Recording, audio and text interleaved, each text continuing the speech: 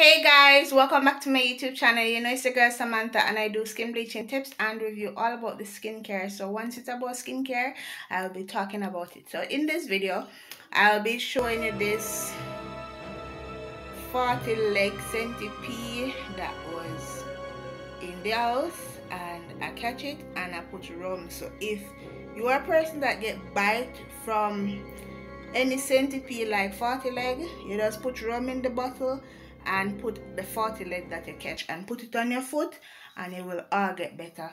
So listen. So if it don't get scared just put it on it rub it on your foot and you will be fine. Thank you for watching. Remember like share subscribe comment and watch your ads. Bye guys